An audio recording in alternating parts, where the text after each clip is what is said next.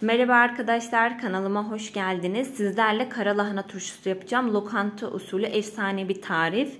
Kesinlikle kaçırmayın derim arkadaşlar. Bu tarif pidelerinizin yanında, salatalarınızın içine koyaraktan, ne bileyim köfte yapıp yanında, e, pilavınızın bir pilav yapıp yanında bile yani sunabileceğiniz o kadar güzel bir tarif ki arkadaşlar.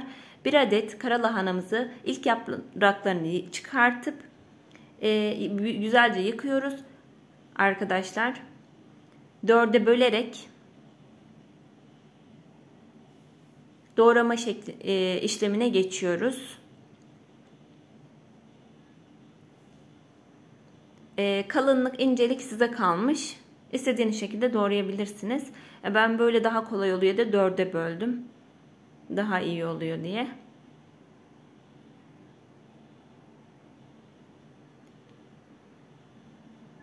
Doğruyoruz arkadaşlar. Doğradıklarımızı leğenin içine alacağız. E, doğrayıp e, leğenin içine aldığımız tüm kara lahanayı e, gidiyoruz çeşmenin önünde bir tur kara suyu çıkana e, kara suyu çıkana kadar yıkayıp güzelce süzeceğiz hanımlar. Bunu unutmayın. Ben özellikle öyle yapıyorum.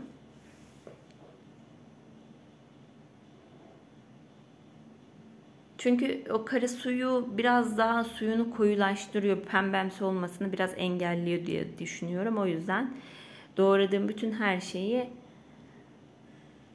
bir sudan geçirip ondan sonra şişeleyeceğim. Güzelce de süzdükten sonra.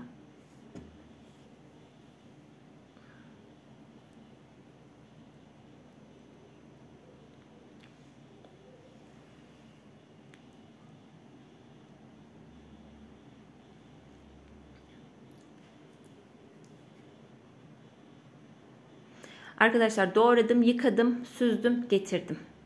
Şu anda. Evdeki olan herhangi bir şişeniz plastik veya da cam şişe olabilir. E, kavanoz olabilir.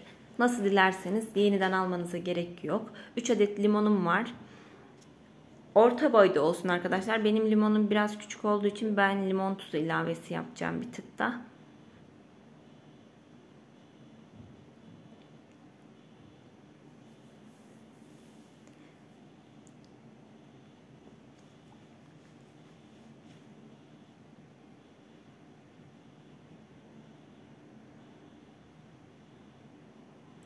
Güzelce sıkıyoruz 3 adet limonumuzu.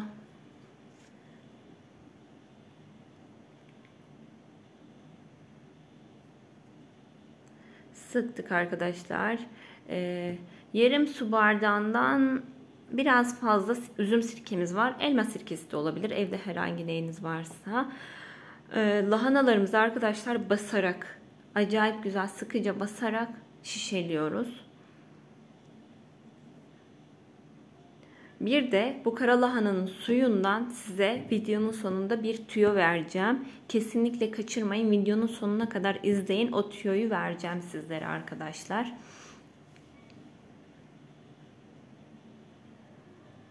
Bu kara lahanayı ben arkadaşlar oruç yaklaşırken 2-3 şişe yapıyorum. Önden hazırlıyorum.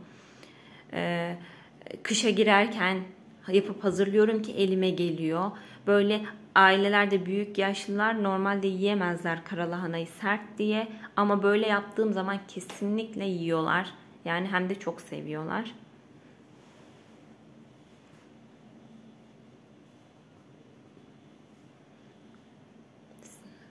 Arkadaşlar ben sıkıca bastım. Bakın bayağı bir sıkı yaptım.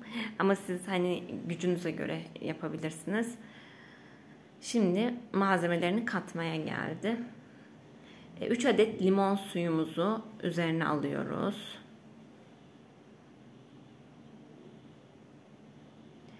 İki buçuk e, tatlı kaşığı kaya tuzumuz ama siz tuzunuzun tat verip vermeme oranına göre değiştirebilirsiniz.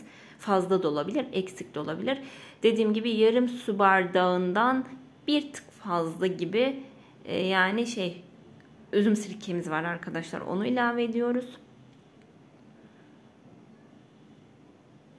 Ben arkadaşlar limonlarım küçük olduğu için e, böyle yarım tatlı kaşığı kadar limon tuzu ilave edeceğim. Üzerine hazır suyumuzu da ekliyoruz.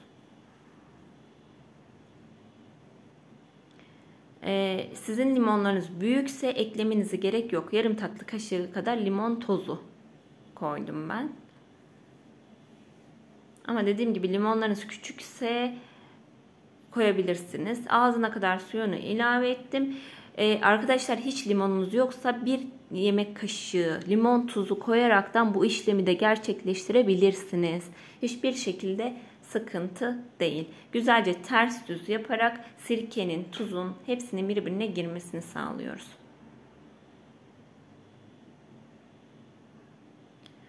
Bunu bir gün boyunca sabaha kadar akşam yaptım ben. Sabaha kadar dışarıda tutup ondan sonra buzdolabına koyacağım.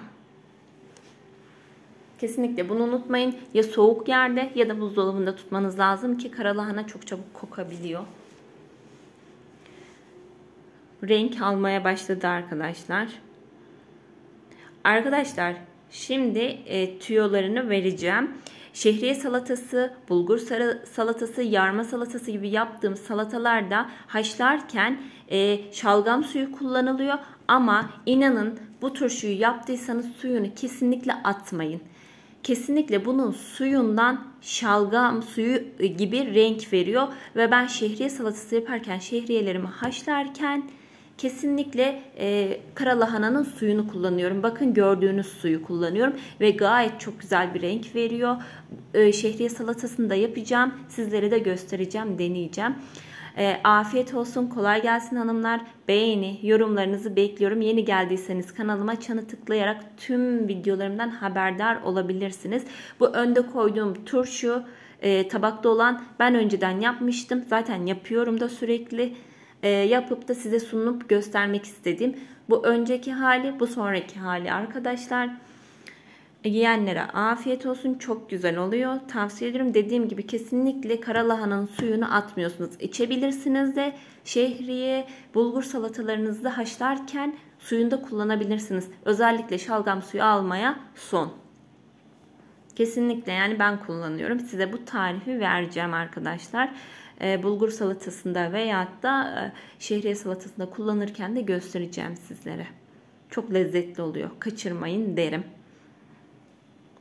Efsane bir e, turşu. Pilavlarının yanında sade olarak yiyebilirsiniz. E, pidelerinizin yanında, lahmacunlarınızın yanında kolayca servis edebileceğiniz salatalarınızda